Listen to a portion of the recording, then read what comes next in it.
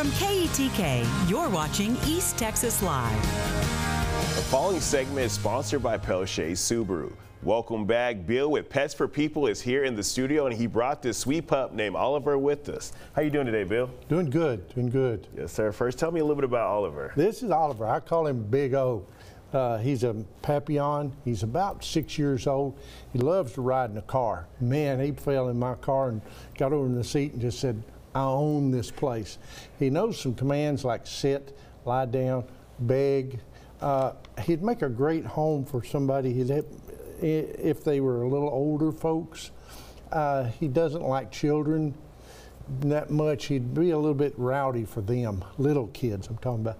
But he'd make a great play uh, play guy.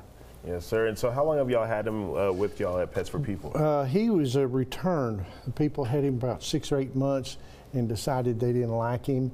So he's been with us for about two months now, and he's a foster fail, I'll call it. But uh, great guy, great guy. I mean, he needs a home. Yes, sir. And uh, will he be good around other dogs if the yeah, people have other dogs? I, I, think really and truly he needs to be the only one in the house. He just soak up all the love and attention that you can give him. Uh, I think that would be the best for Oliver. Yes, sir. And what's your favorite thing about Oliver?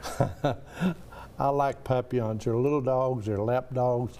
You can sit at the, at the kitchen table with him in your lap. You can sit at the TV there you go, lay down. You can sit there at the house and let him sit on your lap and read a book or just sit there. They're loving dogs. He sleeps in a crate beside your bed at night. That's something he does that a lot of dogs don't do. They kind of roam at night. He sleeps comfortably in a crate. Yes, sir. What's his energy level like? It oh, seems like he's real relaxed and chill. Yeah, he's relaxed and chilling here. You get him outside, and play with a toy.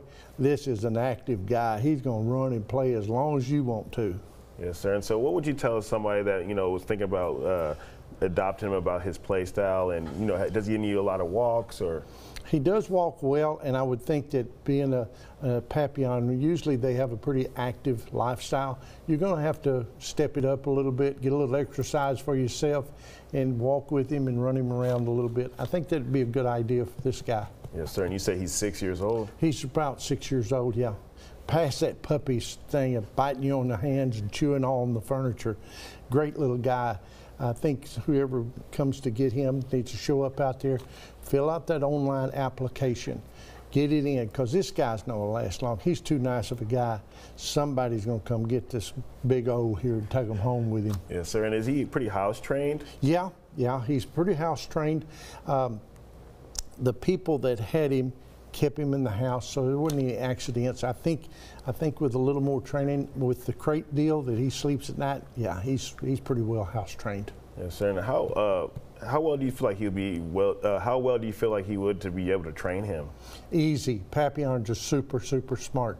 They're right along there with them border collies, and I think he's a pretty easy to train, learn your house, learn your activities in the house. I think he'd be easy to fall right in with your routine during the day. Yes, sir. And where can people get more information? I'll come out there to Pets Fur People. Go online, fill out that application, petsfurpeople.org, and you will find us and come out there and visit our place. It's a safe place for dogs and cats until we can find them a forever home. All right, Mr. Bill, thank you so much for coming yes, in. sir. Thank you. Yes, sir. For more information, go to the website right there on your screen. The previous segment was sponsored by Peltier Subaru. We'll be back with more KETK's East Texas Live in just a couple of minutes. Stay with us.